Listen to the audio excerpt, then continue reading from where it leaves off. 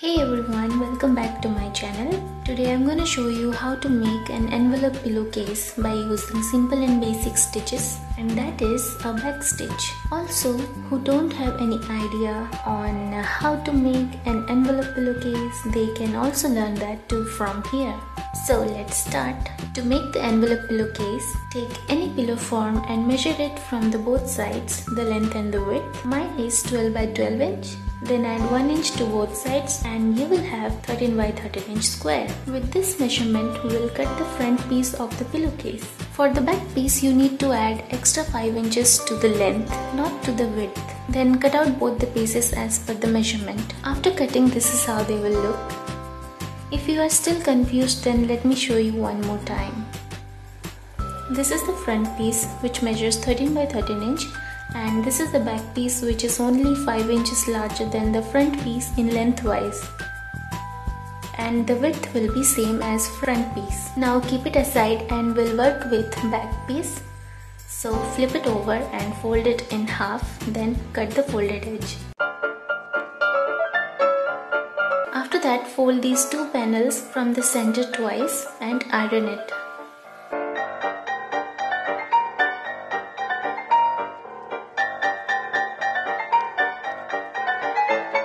After ironing them, they will look like this. Now I will close the folded seams by using backstitch. Take the needle and thread and make a knot at the end. Now to close this opening, insert your needle right here by leaving 1 cm gap. Then pull your needle and hold it like this.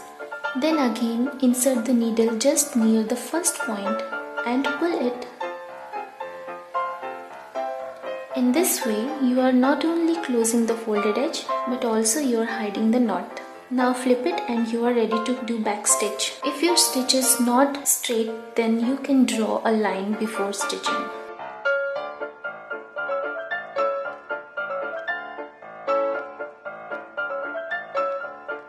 Also you need to take equal distance every time as you go. If you can't see properly the back stitch because of this printed cloth, then please go to my channel and check out the basic embroidery stitch video. I will put the link below in description box. In that video you will learn how to do a back stitch. Then make some knots and secure it. Here you can see the difference between wrong side and right side how the stitches came out. Now both the panels are ready. After that place the front piece right sides facing upward. On that place both panels right sides facing downward. After placing them on top of each other they should look like this. Then pin all the four sides sew it with backstitch. While stitching the four sides of pillowcase, you need to take smaller distance, I mean to say less than 1 centimeter. You can also draw a line to make your stitches straight.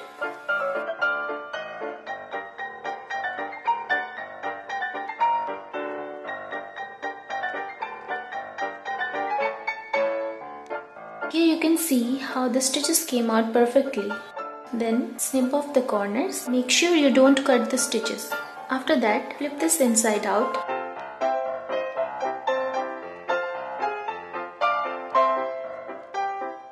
Iron it once more. And your hand stitch envelope pillowcase is ready.